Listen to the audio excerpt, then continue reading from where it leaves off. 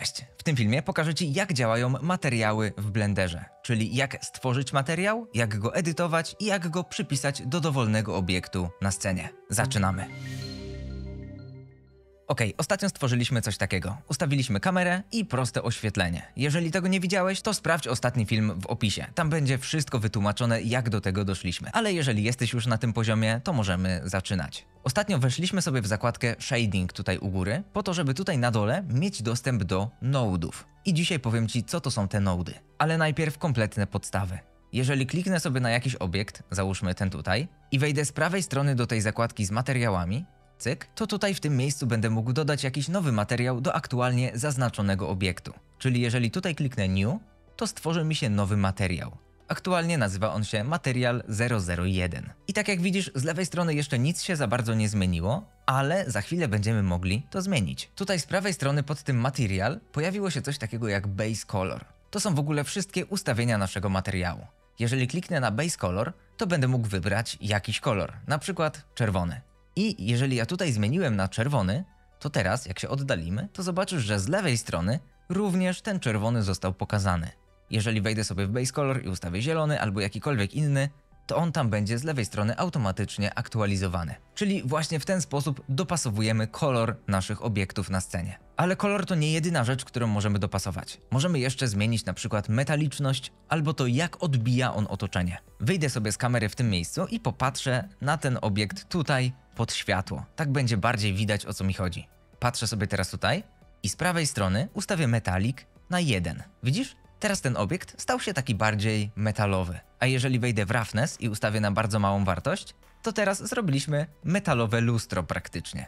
Widać wszystko dookoła, co się tutaj dzieje. Ale jeżeli podwyższę to roughness, maksymalna wartość to 1, to będzie on bardzo matowy. Dalej metalowy, ale bardzo matowy. No to zmniejszę sobie metalik do zera, teraz mamy matowy obiekt niemetalowy i jak znowu zmniejszę sobie roughness, to teraz będziemy mieli coś, co będzie bardziej przypominało plastik niż metal. Czyli te trzy wartości tutaj, base color, metallic i roughness, są w sumie najważniejszymi właściwościami każdego materiału. No i właśnie z ich pomocą będziemy mogli przygotować wszystkie materiały do tej sceny. Wejdę sobie w widok kamery znowu z lewej strony, czyli najadę tutaj myszką i wcisnę 0 na klawiaturze numerycznej, żeby popatrzeć jak to wygląda. Teraz dopasuję sobie roughness, chciałbym, żeby to było bardziej matowe, nie tak bardzo odbijało otoczenie i teraz zostaje tylko kwestia dopasowania samych kolorów. No właśnie, kolory. Zazwyczaj to się wydaje, że to jest taka prosta sprawa, no bo co za problem dodać jakiś kolor, ale w praktyce bardzo często wychodzi na to, że ludzie mają bardzo duży problem, żeby dobrać te kolory, żeby jeden kolor pasował do drugiego koloru. No bo nie wystarczy sobie wybrać jakiś inny element, stworzyć dla niego nowy materiał i ustawić tutaj na przykład czerwony. To ze sobą totalnie nie gra.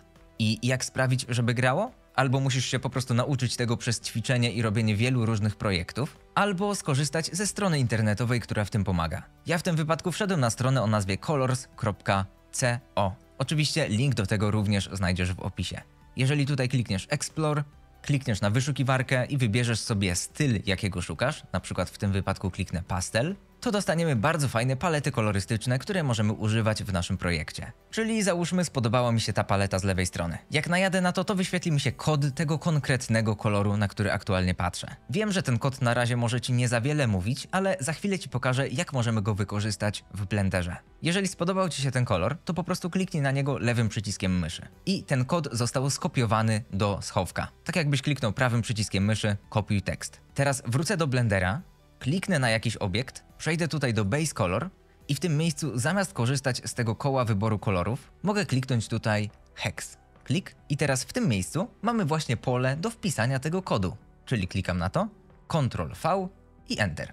Automatycznie kod wskoczył i widzimy ten kolor tutaj z lewej strony. Czyli z wykorzystaniem tego sposobu możemy zrobić praktycznie nieskończoną ilość wariacji naszego renderu i praktycznie nie znać się na kolorach. Wystarczy, że będziemy wchodzili na jakąś stronę i kopiowali stamtąd kolory i wszystko powinno się zgrywać. Ostatecznie dobrałem sobie takie kolorki. Oczywiście ich kody również znajdziesz w opisie. I teraz mając te kolory, możemy bardziej dopasować oświetlenie naszej sceny. Oddalę się troszkę i zrobię to, co robiliśmy na poprzednich zajęciach. Czyli na przykład wejdę sobie tutaj i zwiększę to, żeby świeciło troszeczkę mocniej. Na przykład z 400 tutaj wpiszę. Ta z lewej powinna być troszeczkę słabsza, czyli niech będzie właśnie te 300 może, jakoś tak.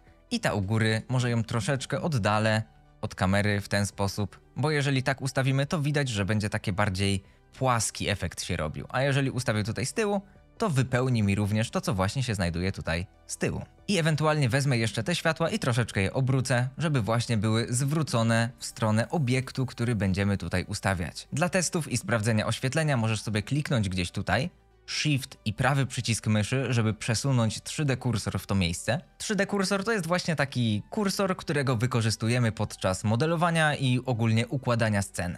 Jeżeli ja go tutaj przesunąłem, wciskając Shift i prawy przycisk w myszce, to teraz gdy wcisnę Shift A i dodam jakiś nowy obiekt, załóżmy wejdę w mesh i wybiorę manki, małpkę, to ta małpka pojawi się dokładnie w tym miejscu, w którym znajdował się ten 3D kursor. Małpka jest takim najbardziej standardowym i dosyć zabawnym modelem, który znajduje się w Blenderze. Głównie się ją używa do tego, żeby przetestować to właśnie jak działa nasze oświetlenie na scenie. Więc ustawię ją gdzieś tutaj, na razie tak dla testu. W przyszłych filmach podmienimy ją na jakiś bardziej złożony obiekt, ale na razie myślę, że wystarczy, bo widać jak na niej rozprowadza się światło. Widać, że na dole jest troszkę ciemniej, a tutaj jest dosyć równomiernie oświetlona, czyli dokładnie o to nam chodziło. Żeby jeszcze troszeczkę uzupełnić tą scenę, aby faktycznie wyglądała tak jak ta scena z animacji, którą widziałeś na samym początku, myślę, że powinniśmy dodać jeszcze kilka obiektów, których nie dodawaliśmy wcześniej, bo nie wiedzieliśmy jak będzie na nich rozprowadzało się światło. Wciśnij sobie Shift A, Mesh i przejdź do UV Sphere. Dzięki temu dodamy sferę. Na tamtej animacji było tutaj kilka kulek, które tak sobie leciutko latały. Dlatego umieszczę tutaj sobie jakąś kulkę w ten sposób i dodam do niej jakiś materiał. Czyli kliknę tutaj z prawej strony New i wtedy pojawi mi się nowy materiał. Jeżeli ja sobie go tutaj dopasuję, czyli na przykład zwiększę metalik i może troszeczkę zmniejszę roughness, to zobaczysz, że tutaj na dole w tym edytorze node'ów pojawił się właśnie node. Ten node jest odzwierciedleniem tego, co znajduje się tutaj z prawej strony. Rolką w myszce tutaj przybliżasz, oddalasz, a jeżeli wciśniesz rolkę w myszce, możesz się tutaj przemieszczać. I to, co się tutaj znajduje, to jest dokładnie to samo, co to z prawej strony. Jeżeli ja tutaj wejdę i zmienię kolor na przykład na czerwony, to tutaj również ten kolor się zmieni. Jeżeli ustawię tutaj roughness duży, to on również zmieni się tutaj z prawej strony. No to teraz możesz sobie pomyśleć, okay, no to skoro te panele są dokładnie tym samym, no to po co są te dwa panele? One są po to, że tutaj z prawej strony dopasowujesz te najbardziej podstawowe ustawienia, a tutaj na dole będziemy mogli tworzyć duże siatki tworzące materiały. Czyli to jest jeden z nodów, z takich tabelek, które łączą się z innymi tabelkami, dostając jakiś tam efekt. Możemy sobie wcisnąć Shift D i mamy wtedy kolejnego tego noda. I jego możemy podłączać tutaj i zmieniać im właściwości. Na razie jesteśmy na bardzo podstawowym poziomie, więc na przykład możemy sprawić, aby jeden taki node wyświetlał jeden kolor, a drugi node inny kolor. Ale z czasem Ci pokażę, jak fajne mogą być właśnie te nody i tworzenie całkowicie własnych materiałów od podstaw. I to tyle na teraz. Dużo skrótów klawiszowych dzisiaj nie było, więc myślę, że z tym nie będzie problemu. Ale jeżeli chciałbyś bardziej szczegółowo poznać Blendera i wszystkie jego najważniejsze funkcjonalności, to wpadnij do opisu i sprawdź mój kurs, w którym wytłumaczyłem wszystkie podstawy i przeszliśmy razem właśnie od takiego najbardziej podstawowego poziomu do całkiem zaawansowanych i złożonych projektów. Ale na razie myślę, że to tyle. Więc miłej zabawy w ustawianiu tych kolorów i mam nadzieję, że usłyszymy się w następnym filmie.